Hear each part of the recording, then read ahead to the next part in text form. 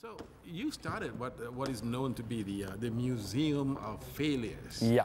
Uh, seriously, I mean, what were you thinking when you started this?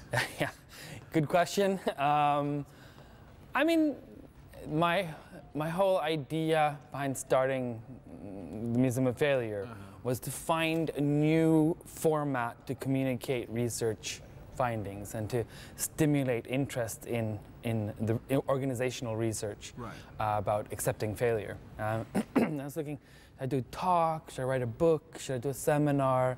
I was like, it's all been done before. Mm, and I was like, maybe you know, a physical, real, physical exhibit Right. uh, would be an interesting way to go. So I started Museum of Failure uh, specifically to stimulate discussion about failure in organizations. All right.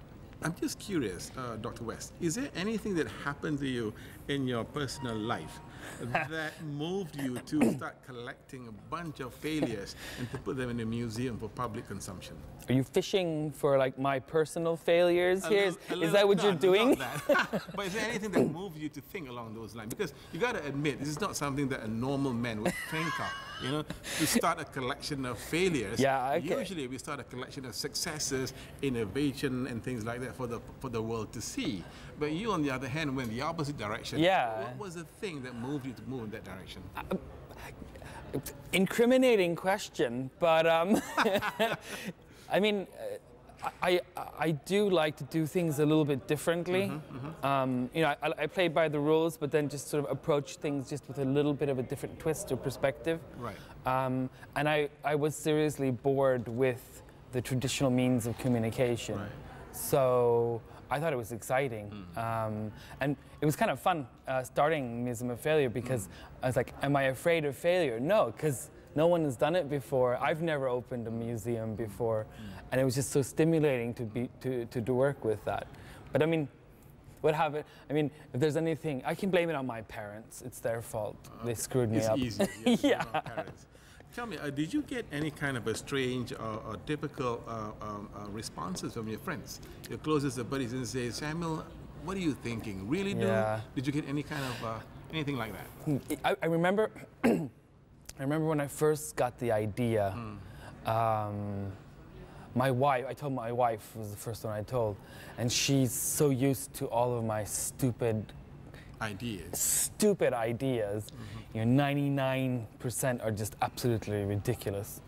Um, so she, I remember her. Oh, that's a good idea. Yeah, yeah, whatever. Like she just sort of It's one of those things. yeah, it is one of those. Um, and then when I didn't give up and I started telling my friends and people I did business with, uh, their initial reaction was, um, "Yeah, that's cute. Okay." Like it, there was, they didn't quite understand what it was, and it wasn't until I actually started uh, buying physical objects and saying, "I'm doing this," uh, that people started realizing, "Okay, he's serious." Um, so it was difficult in the beginning um, um, that people didn't grasp the concept. Um, I bet it was a lonely period of your of your journey as well, when you felt like nobody's nobody quite getting gets it. it. Yeah, know, and I'm doing I my own thing. Yeah. What, what got you through that phase of your life? Yeah, it's it, you- you're actually one of the. This is the first time I've gotten to reflect on these questions, um, because it was difficult to have this great idea, and then try to tell people about it, um, and get sort of a lukewarm reaction to the concept. Um, and I think what got me through that was that I just knew I had to get it done. Mm-hmm, mm-hmm. So I knew that if, if people around me didn't understand what the concept of Museum of Failure was, mm. that I had to just do it and then they will understand. Mm.